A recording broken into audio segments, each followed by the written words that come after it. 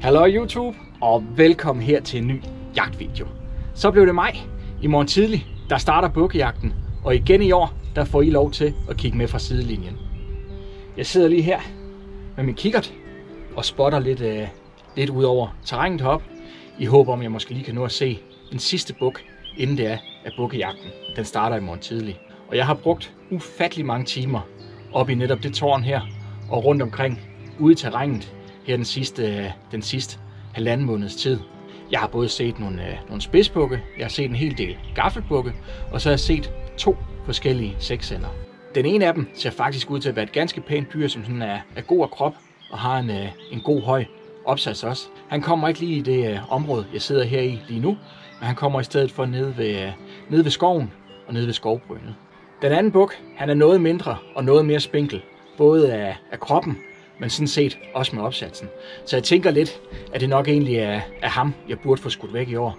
Og det passer med, at han kommer op i det område, hvor jeg sidder heroppe nu, kommer op i nærheden af, af jagttårnen, så det er også her, jeg har tænkt mig at starte i morgen tidlig. Og for at gøre jagten lidt mere spændende i år, så har jeg tænkt mig at gøre tingene en anelse anderledes. Hvis jeg allerede har læst overskriften op til videoen, I har nok også set billedet hertil, så vil I se, at i år, der går jeg på jagt med en gammel antik rifle. Og riflen, jeg skal skyde med, det er en Eddystone model 1917. Og riflen, den er over 100 år. Helt præcis, så er den faktisk 107 år gammel. Og så sidder der måske nogen derude og tænker nu, at Rasmus, så er den gammel rifle, det kan man da ikke gå på jagt med. Og for lige at skyde den til jorden, så springer vi lige lidt tilbage i tiden og hopper ned i den gamle grusgrav.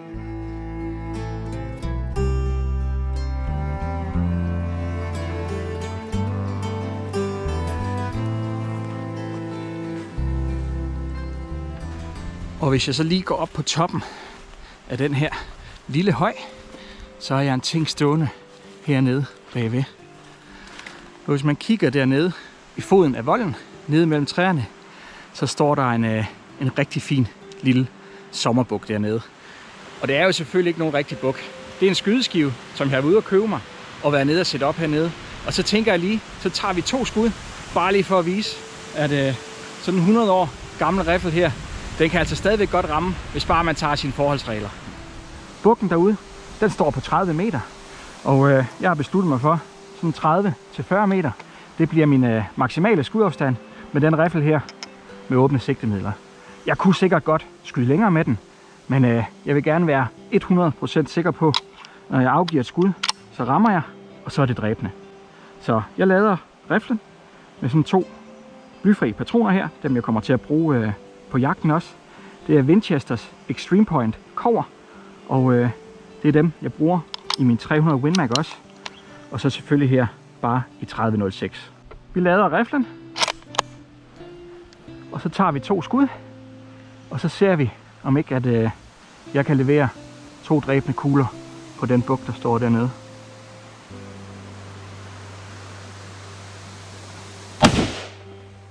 Det var en. Tager en mere.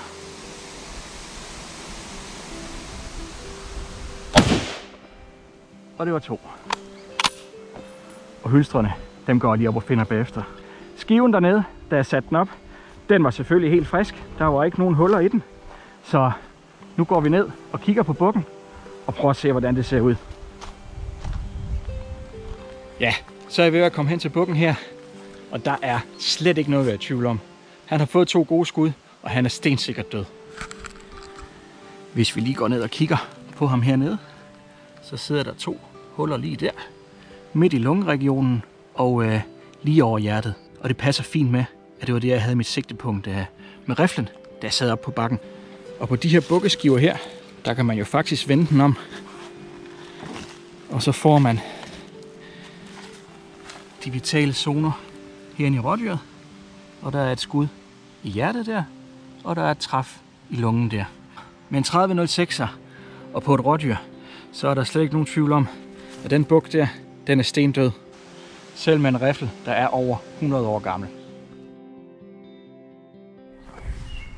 Så nu har vi set, at riflen, den kan godt ramme, når bare at, øh, at jeg sørger for ikke at tage nogle skud, som er alt for lange.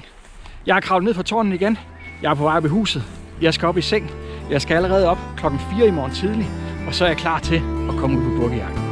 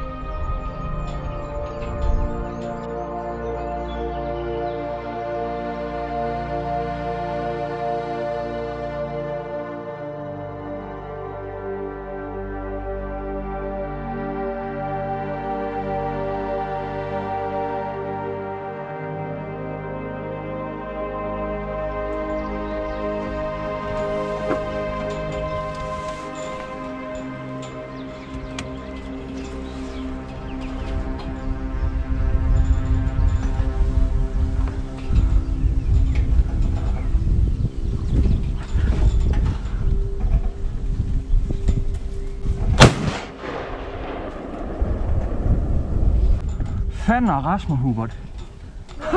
Prøv at kigge. Han ligger lige der. Jeg har ham. Han ligger lige der. Hold nu kæft.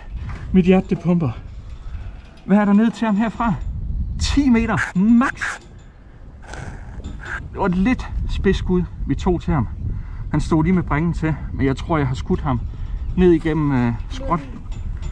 Skråt ned igennem bladet. Nej, Hubert, bliv her. Vi venter lige. Fordi nu lader vi ham lige ligge. Han ligger og spjætter lidt, ikke? Og vi er helt oppe at ringe. Vi to også.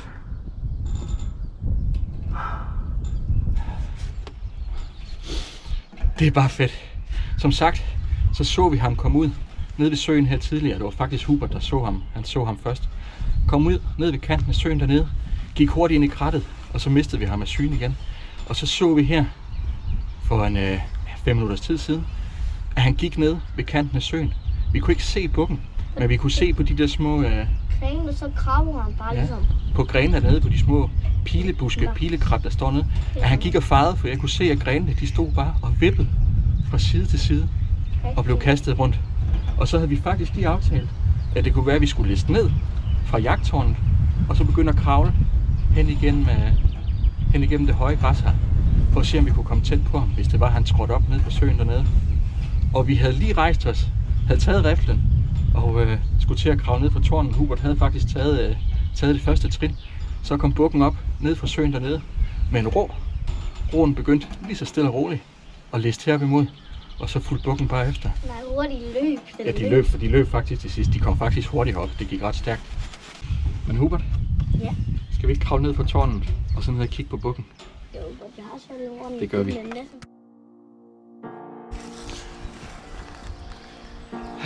Og så er jeg jo heldig, at jeg har kameramand med i dag. Så Hubert, han har fået lov til at styre kameraet.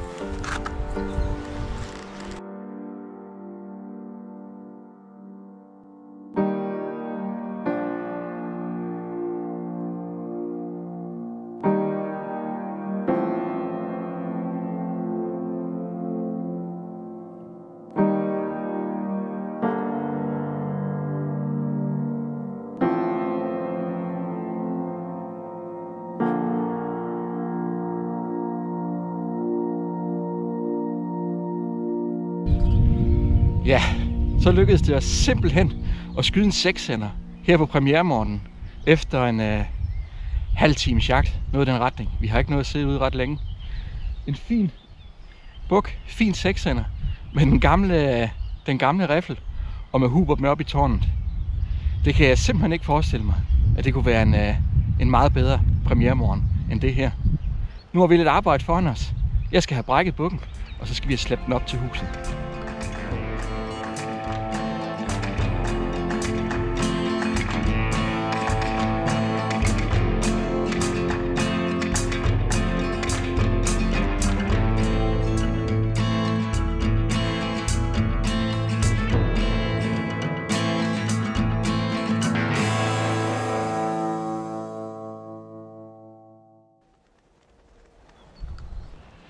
Ja, og så sidder jeg her på premiermorgen med øh, den gamle riffel.